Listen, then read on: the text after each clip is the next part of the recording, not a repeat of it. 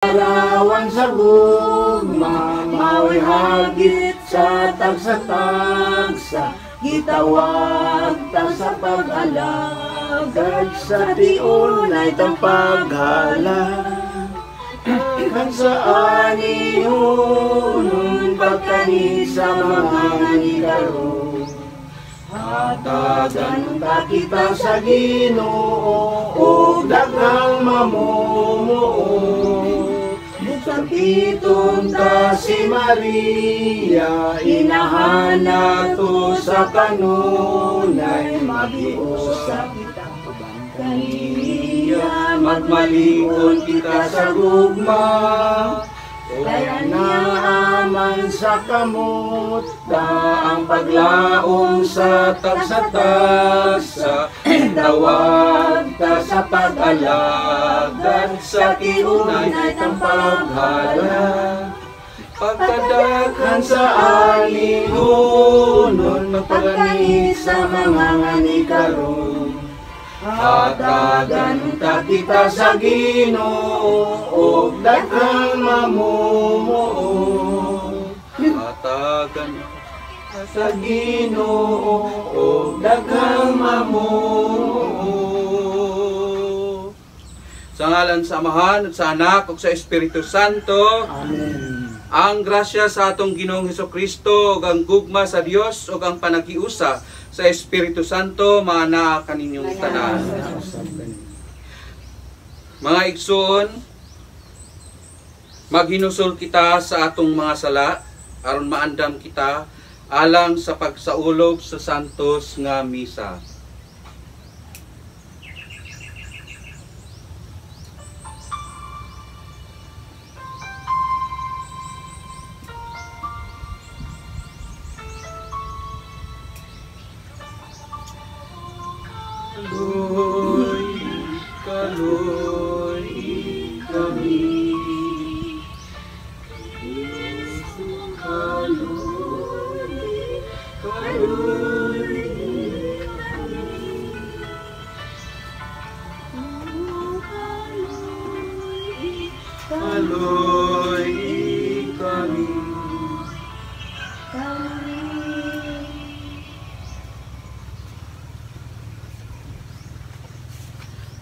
Kaloyan unta kita niya ang atong Dios nga makagagahom sa tanan o pasayloon sa atong mga sala. Dadon unta kita niya ngadto sa kinabuhing dayon. Amen. Himaya sa Dios dito sa langit.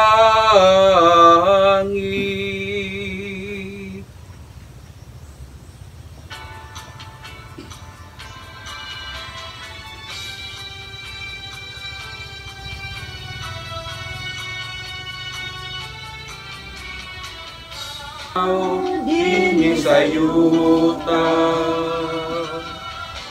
Noong Diyos ng hari, Diyos samahan makagagahon sa tanan. Iba kami kanimo, Nagpasalamat kami kanimo.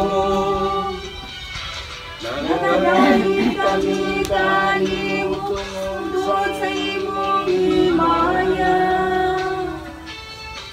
Magampo kita.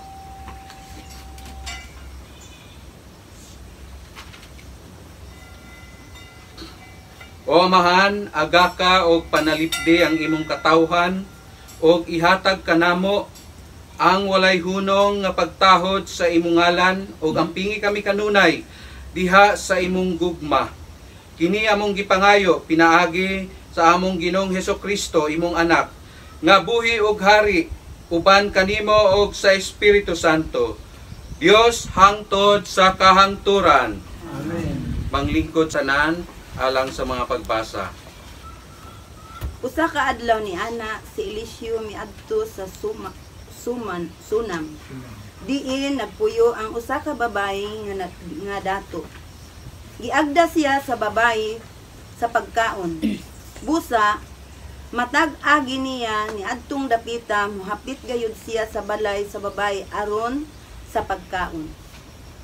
Ug ang babae miingon, sa iyang bana.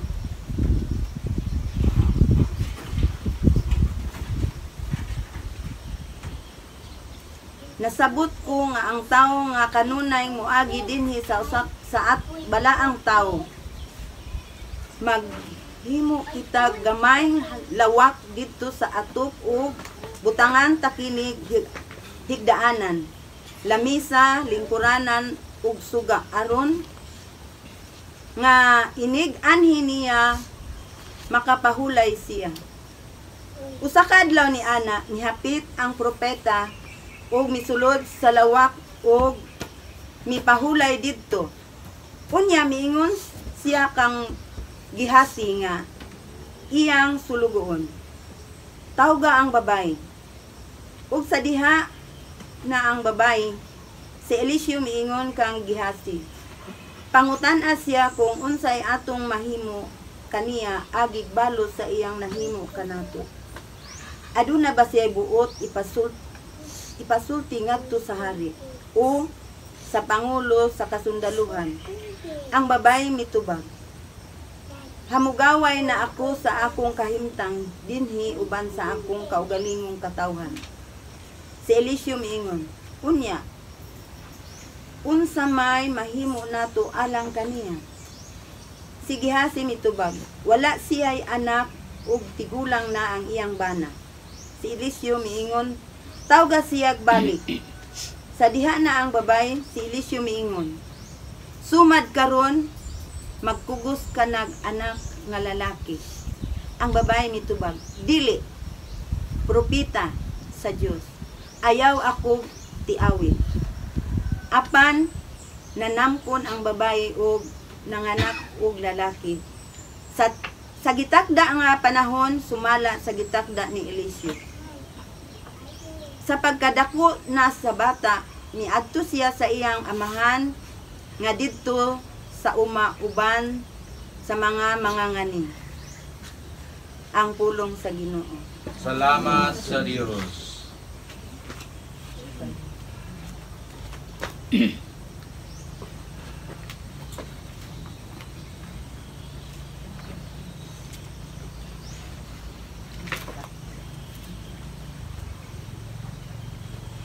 Salmo responsoryo o Ginoo awiton kanunay ang imong gugma nga walay paglubad. O Ginoo, awiton kanunay ang imong gugma nga walay pagluwad. Labihan kadaghan ang kalisdanan nga bidangat kanako ug ako hapit na mamatay. O Ginoo, awiton kanunay ang imong gugma nga walay paglubad.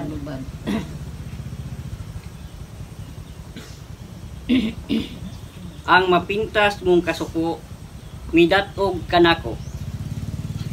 Og naglaglag ako sa makalilisang mong mga atake. O Ginoo, awiton kanunay ang imong gugma nga walay paglubad. Tibok adlaw gilibutan nila ako sama sa baha.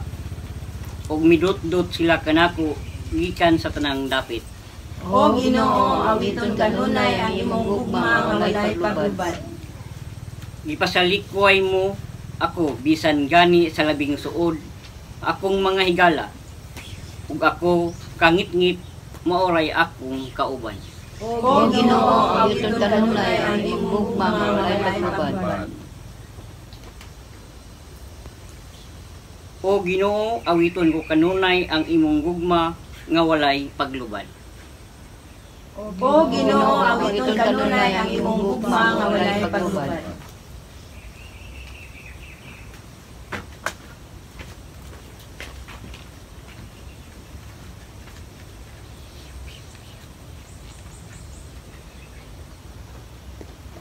Pagbasa gikan sa sulat sa Roma. Nasayod kamo nga sa pagbunyag kanato nahiusa kita kang Kristo Jesus busa nahiusa kita sa iyang kamatayon. Tungod ni ini sa pagbunyag kanato gilubong kita uban kaniya og miambit sa iyang kamatayon aron sa ingon nga si Kristo gibanhaw sa mahimayaong gahom sa amahan. Kita usab nga angay nga magkinabuhi sa bag-ong kinabuhi.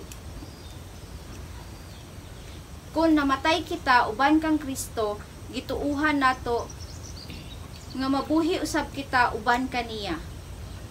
Kay nasayod kita nga si Kristo gibanhaw og dili na gayud siya mamatay pag-usab ug ang kamatayon wala nay gahom ibabaw kaniya. Ang iyang kamatayon mao ang kamatayon nga nagwagtang sa sala makausa alang sa tanang panahon ug nagkinabuhi siya karon alang lamang sa Dios.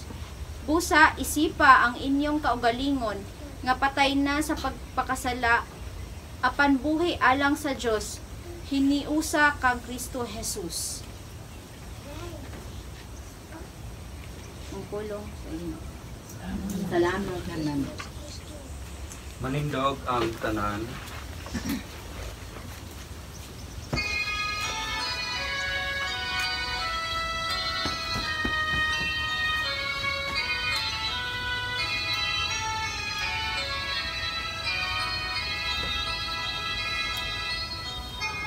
Hallelujah.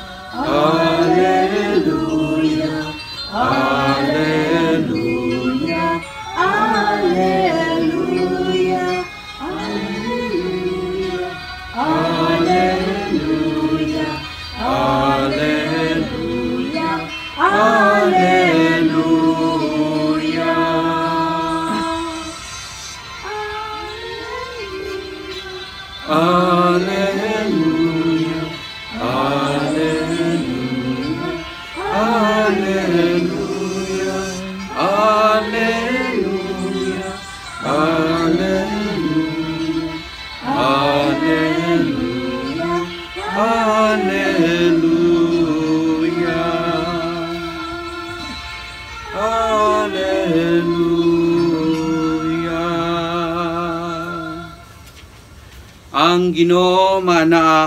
Kaninyo. Ang santos nga ebanghelyo sumala ni San Mateo.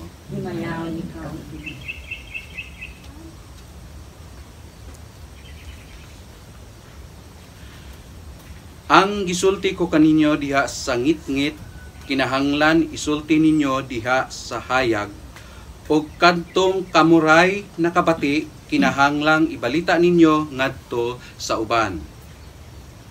Ayaw kamo kahadlok ni adtong mupatay sa lawas apan dili makapatay sa kalag.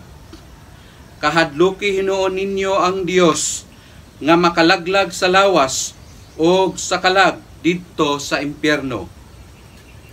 Sa gamayng kantidad makapalit na kamog duha ka gagmayng langgam nga sayaw apan bisan pa ni ana walay usa kanila nga mahulog sa yuta kun walay pagtugot sa inyong amahan bisan gani ang buhok sa inyong ulo inihap man busa ayaw kamo kahadlok kay labaw pa kaayo kamo bili kaysa mga langgam. Ang muila og muangkon kanako atubangan sa mga tawo, ang kunon ko usab atubangan sa akong amahan ngadto sa langit. Apan ang dili muangkon nga siya ako ah, dili ko usab ang kunon atubangan sa akong amahan didto sa langit. Ayaw kamo paghuna-huna nga mianhi ako aron pagdalag kalinaw sa kalibutan. Dili kalinaw ang akong gidala kun dili espada. Hinoon mianhi ako aron makabangi ang mga anak nga lalaki ug ilang amahan, ang mga anak nga babayi ug ang ilang inahan ug ang mga umagad nga babayi ug ang ilang ugangan nga babayi. Ang labing ngilad nga kaaway sa tawo, mauraon niya ang mga sakop sa iyang kaugalingong panimalay. Ang nagmahal sa iyang amahan o inahan, labaw kay kanako, dili takos nga mahimong tinun-an nako. Kadtong nagmahal sa iyang anak, labaw kay kanako, dili usab takos mahimong tinun-an nako. Ang dili mo pasan sa iyang krus og mosunod kanako dili takos mahimong tinun-an nako. O kadtong maniguro sa iyang kaugalingong kinabuhi, kawad-an niini. Apan ang kawad-an sa iyang kinabuhi tungod kanako makabaton hinoon niini.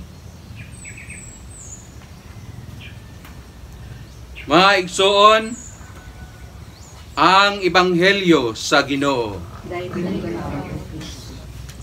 Panglingkod ang tanan.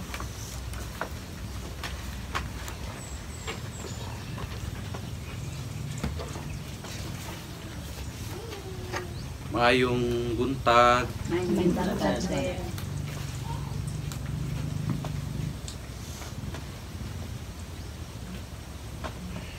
Kahapon, amo ng gihatagan o desisyon ang among kaugalingon kauban kauban ang atong kura paroko si Father Antolin Adlawan nga sa kanunay isentro ang Ginoo sa among kasing-kasing o dili na kami mo entertain o dili na namo hatagan og bili ang mga tawo nga naninguha nga kami ihulog sa kala, kaalautan. Buot pasabot, ang mga marites og marisol walay luna sa among pagserbisyo isip mga pari o isip mga servant of God kay tungod naa kami gi sangunan o naa kami promise kadto nga oras nga kami giordinahan pagkapari. Tibuok namong kinabuhi among amo nang gihalad sa Ginoo aron ipadayon ang misyon ni Kristo. Ang misyon ni Kristo mao ang pag ah, pagdawat sa iyang gisugo kanamo nga ang iyang mga pulong ang iyang gugma ug kaluoy i-extend namo sa atong mga kaigsuunan kaninyong tanan aron kita makabaton og kalinaw sa atong kinabuhi og aron kita mamahimong tinun-an ni Kristo sa walay pagduha-duha. Mga igsoon, ang ebanghelyo karon nindot pamalandungan kay unsay giingon ni Kristo ang dili mo ila kanako dili ko usab ilhon o dili usab ilhon ngadto sa iyang amahan. Mga igsoon, sa atong kinabuhi, adlaw-adlaw, aduna kitay mga kaugilingong panghuna-una. Sa adlaw-adlaw nga gihimo sa Ginoo sa atong panimalay, anaa diha unta ang atong gugma o kalinaw sa matag usa Kay kung atong ipakita nga gihigugma nato ang atong mga anak, giatiman nato ang atong mga bana ug asawa, gihugugma nato ang atong mga pana ug asawa, labaw pa ang atong kasilinganan, atong gihigugma ug atong gidawat. Gidawat sa buot pagsabot nga gipapasay gipasaylo na nato sila o gidawat ang ilang pag pagpangayo o kapasayloan kung naaman sila'y mga nahimong dili maayo kaninyo kanatong tanan mga igsoon pahinumdom rani sa atong Ginoong Hesus Kristo pahinumdom nga dili unta nato angay ikasakit kung kita gidaot. Dili unta tayo ag dili unta kita ah, masakitan nga kung naay tao nga naningkamot sa pag put down sa atong kinabuhi o sa atong ginahimo kung na sila'y nakita. Unta ang atong ihatag kanila ang atong timos nga pagsabot. Ang atong gugma. Kay ngano walay katapusan kung atong tubayan sila. Atong ihalad noon sa Ginoo sa atong mga pag-ampo ang ilang kasakit nga gihatag kanato na na ako'y gipost sa akong kuan sa akong Facebook. Iingon ako dito nga ayaw pagbalos sa mga tao nga nang daot kanimo.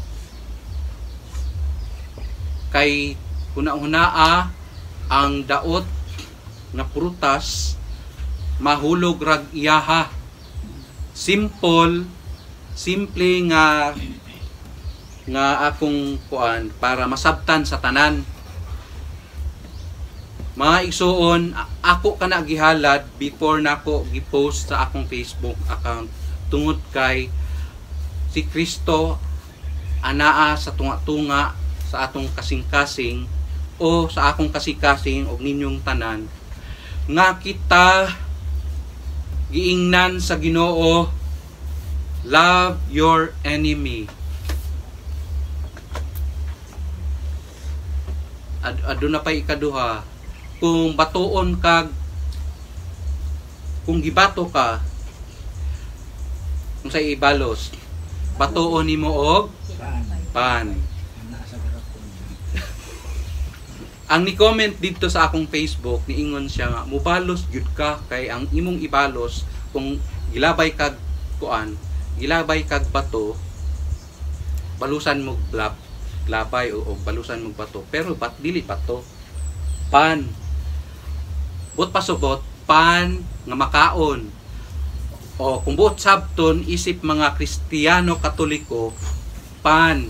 Nga pan sa Ginoo pan sa kinabuhi. Ngano kaya nga atong giisip nga pan mao kana si Kristo. Nga kana nga pan naa si Kristo ana. Ang atong Ginoong Hesus Kristo na ang muhikap muhikap sa iyang kasing-kasing. Aron siya makapamalandong ng iyang gibuhat sa tawhanong panghuna-huna sayop o sa Dios nung panghuna-huna sayop pod. Mo nga kita nga binunyagan kita nga aktibo gayod sa simbahan perming musimba kada Domingo og adunay mature maturity nga musabot sa atong mga kaigsuonan bulahan kita sa Ginoo. Ang Ginoo sa umaabot nga mga adlaw adunay reward para kanato. Adunay premyo para kanato wa na dili lang nato mahibaw-an. Kalit lang ang feeling mo mura kag naglutaw sa hangin mura kag gilupad. Ngano? Kay ang grasya sa Ginoo misulod sa imong panimalay. Tungod sa imong gipakita nga kamaayo pagpaubos o paghatag o kapasayloan sa atong mga kaigsuunan. Dili angay nato ikasubo nga ang atong moralidad. Gitamakan ang atong katungod. No gibaboy o gilapastangan sa Tagalog pa. Gibinuangan ang atong katungod unta atong huna-unaon nga bisan pa ni ana ato kana gihalad ngadto sa Ginoo. Atong ihalad sa tumang pagpaubos. Pero kita isip tao nga makasasala kung muingon kitla gihigugma gihigugma ko katong tao nga ni pasakit kanako tao kita nga lisod buhaton kana kay bawo ko sa inyong mga hunahuna o kasing-kasing nga bag-o pa lang kamo nga nakabaton og dili maayong kabubuton sa isig katawo sa inyong silingan baron o sa inyong mga igsuon baron unya moingong ka. Gigugmatika lisod para nato kay kita makasasala. Pero kung atong paningkamutan nga ang Ginoo adu adunay grasya nga ihatag kanato kung atong paningkamutan nga ang Ginoo ad anaa tunga tunga sa atong kasing-kasing mawala na. Hinay-hinay nga mawala. Ug moingon ka nga sakto ang giingon sa Ginoo. Higugmaa ang atong mga kaaway. Kaming mga kaparian parehas ra- rami ninyo. Masakitan mi kung naay ah, fellow priest namo nga mo mo bato kanamo og mga mga masakit nga mga pulong parehas mi ninyo kung naay mga tao nga nagmarites og marisol kanamo pero tungod kay among gihalad ang among kaugalingon 100% sa Ginoo nga mapari amo nang dawaton sa tumang pagpaubos. Kay naaman gisil- gisunod nga three vows uh, three evangelical vows. Poverty chastity o obedience. Poverty tungod kay kami nagagikan man kami sa mamong gibiyaan ang among pamilya tungod kay ang among pagka missionary priest gihalad namo sa Ginoo aron kami ma-reach out ang mga tao nga nakinahanglan sa ilang spiritual health nga mulambo o mo tambok kaming mga kaparian tanang mga kasakit nga among nahiaguman amo kanang gihalad sa Ginoo sa among mga pagampo gikan sa pagmata namo sa buntag sa udto sa hapon sa alas alas 6 sa gabi o sa alas 9 sa gabi before mga tulog maon ka na ang among mga prayers nga tanang mga gimbuhat namo sa usa ka adlaw amo kana nga gi halad ngadto sa Ginoo. Kay ang pinaka nindot nga regalo nga gihatag kanatong tanan gikan sa Ginoo ang atong kinabuhi. Magmata inigmata nato sa buntag. Magpasalamat dayon ta nga Ginoo. Nakamata naman di ay ko. Salamat kaayo kay gi- gitugwayan pa nimo agi gilugwayan pa nimo ang akong kinabuhi. Mao na poverty chastity unsa man chastity? Kanang ang among pagkatao ang among pagkalalaki amo nang gihalad ngadto sa Ginoo nga dili kami mag asawa pero naay dako nga pero ngano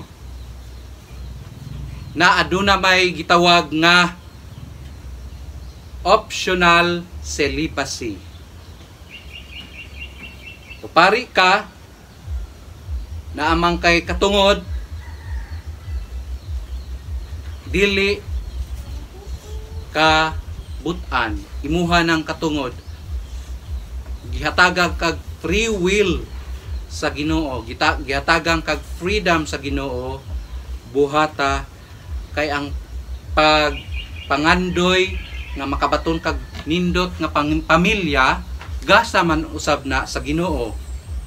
Di ba tawag tawag man pud na sa Ginoo nga ang bukasyon dili sarado sa pagkapari bukasyon sa pagkapari lahi lang ang imong bukasyon ang bukasyon para sa paghimo o pamilya. Maunay buot pasabot sa ah, chastity. Celebrated man ako. Dili ako pariha sa akong mga kaubanan nga mga pari nga aduna sila mga pamilya. Ikatulo obedience. Obedience sa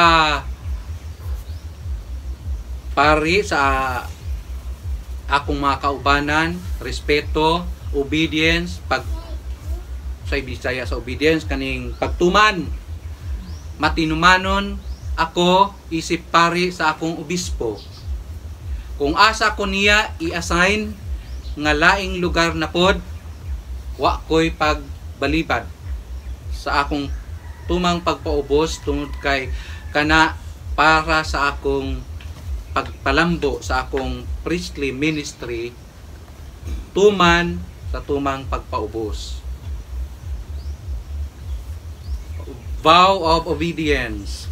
Ang akong pagtuman sa akong obispo maupod na ang pagtuman sa pulo kasugo sa atong Ginoo. Og daghang malipay nga kung naggatuman ka permi sa mga pulong sa Ginoo malipay ang tanang mga santos. Uban na si Mama Mary ang mga kaanghelisan sa langit ug ang atong amahan ang atong Ginoo Hesus Kristo. Amen. Sa ngalan sa Amahan, sa Anak, ug sa Espiritu Santo. Amen.